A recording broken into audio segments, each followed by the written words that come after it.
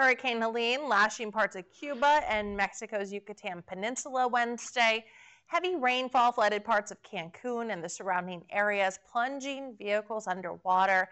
The powerful ocean waves pounded the coastline. Strong winds from the storm also knocking out power to thousands of people in Cuba's western province.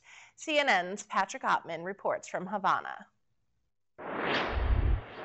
The worst of Hurricane Helene appears to have passed through Cuba. But for much of the day of Wednesday, uh, this uh, part of the island, the westernmost and even central parts of Cuba, were rocked by uh, heavy winds and rain. Uh, flooding in western Cuba still has some towns cut off. According to officials there, about 50,000 people in the westernmost Cuban province of Pinar del Rio are still without power, and it could take days uh, for electricity to be restored there.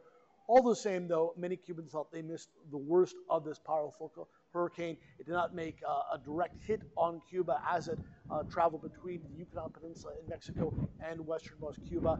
It does not appear, though, that uh, Florida is going to be as lucky. The panhandle or, or western part of Florida are looking uh, to be hit by uh, a powerful category four hurricane. That is what forecasters are saying that Helene could strengthen into.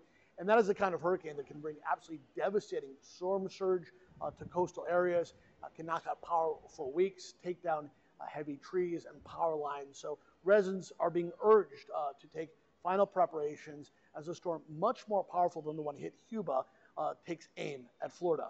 Patrick Oppmann, CNN, Havana.